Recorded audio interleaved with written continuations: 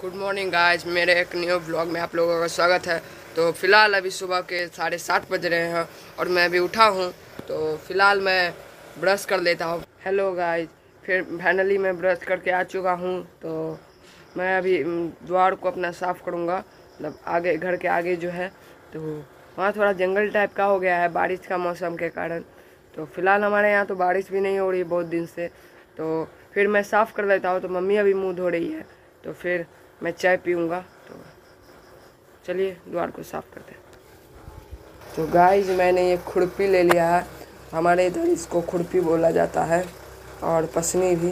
तो आप लोग के उधर जो बोला जाता हो, देख सकते हैं कुछ इस टाइप का होता है ये। तो इससे मैं अपने द्वार को साफ़ करूँगा। चलिए चलते हैं। देख सकते हैं कुछ इस टाइप का जंगल हो गया। तो मुझे पहले झाड़ू देना पड़ेगा। पहले मैं छीन लेता हूँ, फिर झाड़ू दे दूँगा। तो गाइज़ मैं अभी देख सकता हूँ, मैं इसको साफ़ कर लेता हूँ। कुछ इस टाइप से मैं साफ़ कर रहा हूँ। आप लोग बताइएगा जो आप लोग कैसे साफ़ करते हैं कमेंट में। मुझे तो उतने अच्छे से आता भी नहीं है। वैसे मेरे बारिश के मौसम में मेरे हर साल ऐसे द्वार रहता है। तो गाय देख सकते हैं, कुछ इस टाइप का हो गया है। मेरे आगे में। मैं फ़िलहाल इसको साफ़ कर रहा हूँ। फिर झाड़ू दे दूँगा। तो गाइस मैंने कुछ इस टाइप का इसको छील दिया है।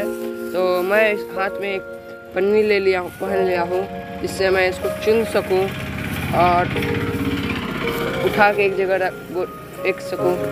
तो फिर मैं इसे फेंक दूँगा उठा के तो कुछ इस टाइप का मैंने छीला है। देख सकते हैं एक जगह मैं रख लेता हूँ उसको।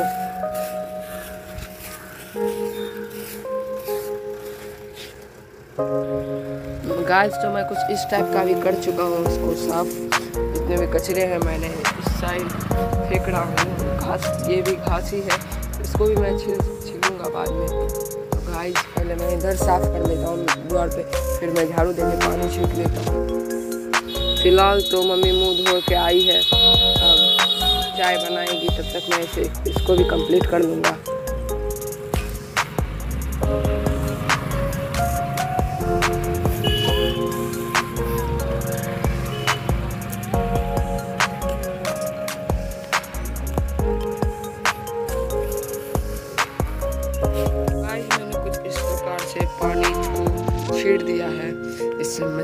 अच्छे से बैठ सके क्योंकि मैंने घास छिल के फिर से मिट्टी बिठाने की कोशिश की है तो फिर से मिट्टी अच्छे से बैठ सके तो फ़िलहाल मैं मुँह हाथ धो लेता हूँ फिर चाय पी लेता हूँ। मैं अभी मुँह धो के आ चुका हूँ तो मैं फ्रेश होके आ चुका हूँ तो फ़िलहाल मैं चाय पी लेता हूँ तो फटाफट से मैं चाय पी लेता हूँ।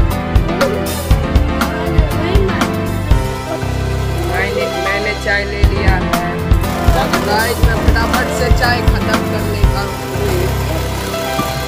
तो गाइस, मैंने फटाफट से अपना चाय खत्म कर लिया है फ़िलहाल। तो बने रहिए हमारे वीडियो के साथ, पूरा ब्लॉग ज़रूर देखिएगा। तो मैंने चाय पी लिया था, उसके बाद मैं थोड़े बाहर चला गया था काम से। तो फ़िलहाल अभी नए नए बज गए हैं, नौ बज गए हैं।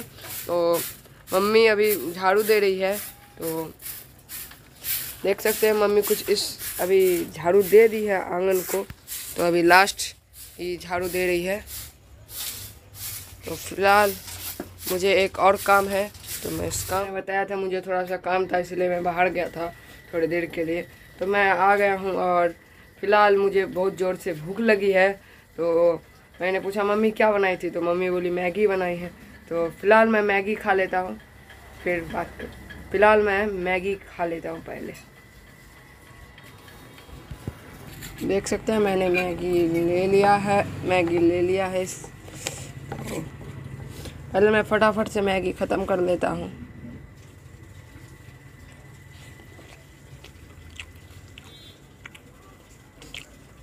गाइस मैंने मैगी अपना ख़त्म कर लिया है तो फ़िलहाल मैं जा रहा हूँ नहाने। तो गाइस मैं फाइनली नहा के आ चुका हूँ। तो मेरे स्कूल के कुछ होमवर्क हैं बचे हुए जो बनाए नहीं थे मैंने कल रात को, क्योंकि कल सैटरडे था तो आज संडे तो आज स्कूल में छुट्टी रहती है तो इसीलिए मैंने स्कूल के होमवर्क कुछ छोड़ दिए थे। इसीलिए मैं आज दिन को बना लूँगा अभी। तो पहले मैं होमवर्क कंप्लीट कर लेता हूँ तो फ़िलहाल मैं बना लेता हूँ। कुछ इस प्रकार के क्वेश्चन है तो मुझे सिर्फ़ यहीं तक बनाना है। तो ये सिविक्स का सब्जेक्ट है, भूगोल का। तो फ़िलहाल मैं बना लेता हूँ। मैंने कॉपी कलम ले लिया है तो फ़िलहाल मैं पहले बना लेता हूँ।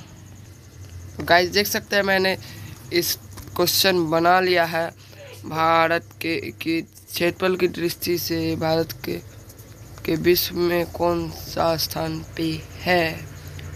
तो ये सब क्वेश्चन है मेरे बुक में। देख सकते हैं क्वेश्चन मैच कर सकते हैं। तो मैंने ये सारे क्वेश्चन बना लिए हैं तो फ़िलहाल मैं वो को रख देता हूँ।